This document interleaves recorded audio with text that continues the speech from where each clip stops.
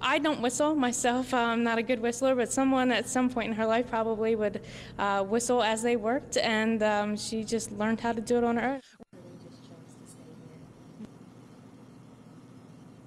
They've just new.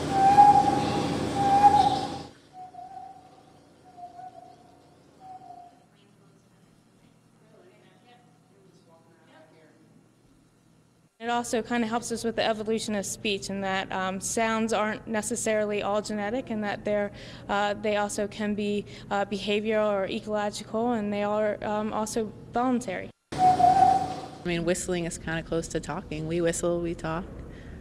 Very interesting. Come on, you can whistle. I want to hear you.